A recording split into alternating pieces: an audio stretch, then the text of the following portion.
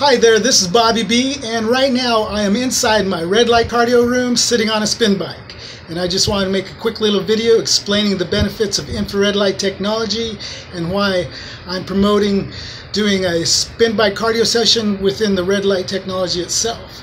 Now, a lot of people are asking me, why red light technology? What's the benefits? And basically, there's a lot of different benefits. Uh, the main benefit right here for this room is that you're detoxing your body while you're burning extra calories.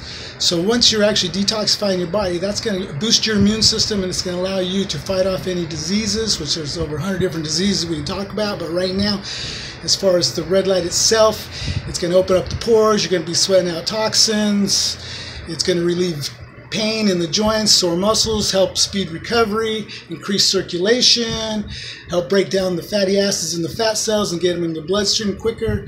So basically what you're doing is you're doing cardio while detoxifying, while boosting your immune system, while burning more calories, which at the end of the week you're actually going to be burning more fat by doing this program combined with eating properly. And excuse me while I sweat to death here, but anyhow, so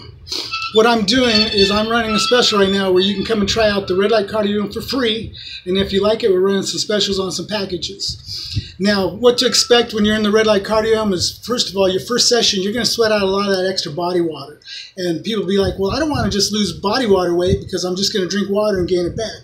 And the reality is, is that most of us are running around a little bloated because of the food we're eating with the extra sugars and the salts, the processed salt, and the processed food. We're bloated, eating the gluten, so we're bloated. We got belly blow, we got a bloated uh, face, puffy hands, puffy face. So by you can sweat out one, two, three pounds of body water or water within your first session. So actually, by burning probably about 30, 40% more calories, fat calories, and sweating out that extra body water, when you get done, you're actually going to feel and look thinner just off your first session. So come on down and try it out. And just comment below as to whether or not you are interested in trying out these sessions. And I will get back to you. Thank you and have a blessed day.